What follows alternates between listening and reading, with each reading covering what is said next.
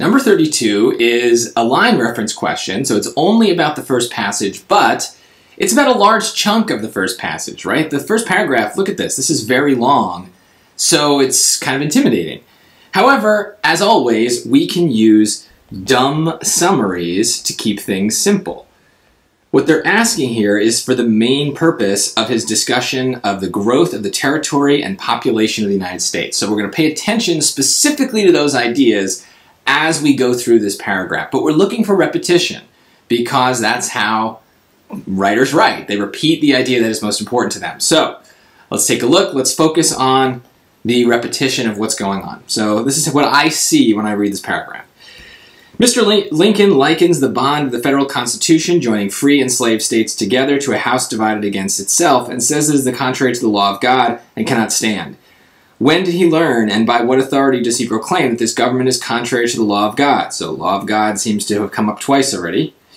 Um, it cannot. It has stood thus divided into free and slave states. So free and slave states from its organization up to this day, during that period, we have increased from 4 millions to 30 millions of people. We have extended our territory from the Mississippi to the Pacific Ocean. We've acquired the Floridas and Texas and other territories sufficient to double our geographical extent.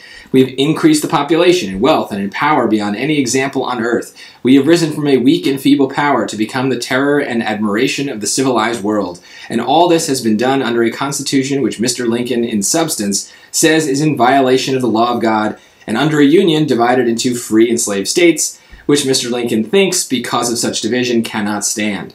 Surely Mr. Lincoln is a wiser man than those who framed the government. So look at that. The whole middle part is very clearly about what the question is asking, right? The growth of the territory and population. So they just repeat that a bunch of times. We don't need to focus on the details.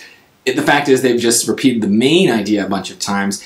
And what's sandwiching that idea? Stuff about the free and slave states and the law of God and on both sides. So that's where my dumb summary is going to come in. It's probably about those ideas.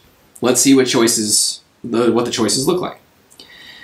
So, provide context for Douglas's defense of continued expansion. Well, he talks a lot about expansion, but he doesn't say continue it. He's not talking about that at the beginning or at the end of this large chunk of text. So, continued expansion doesn't seem to match with what I read suggests that the division into free and slave states does not endanger the Union. Yeah, he's talking about the free and slave states, and it's the law under God, and it's continued to stand, so that seems like it matches. Let's keep going. Imply that Lincoln is unaware of basic facts concerning the country. No, this is a stupid answer. The, the, the way that these kind of double passages work, they are almost never going to be like insulting each other and saying like you know oh you're stupid for thinking this or uh, yeah you're just you're stupid you don't know the facts. They're mostly going to acknowledge the other person's facts and then disagree with them. So that's a very different thing. This is not the case. It's not like douglas is trying to be like hey remember when we conquered the floridas? Like no lincoln knows this. This this is not common knowledge. This is not something that needs to be taught to lincoln by douglas D, account for the image of the United States as powerful and admirable. Well, he does say that the United States is powerful and admirable, but this is kind of just saying what we already know. The question is asking why did he say that the United States is now powerful and admirable? What was his purpose in doing that? His larger purpose was to say that we, we became powerful and admirable by uh, with a constitution that divided us into free and slave states and so that's okay. So, look, you don't need to understand the nuances of Douglas's argument here. You just need to look for repeated ideas. Repeated ideas are main ideas. So he's repeating verbatim, word for word.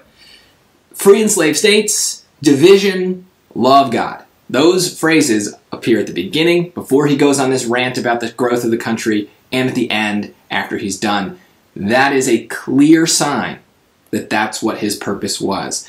Stick to those kinds of things. Don't overthink it. Don't bring in your own knowledge of history.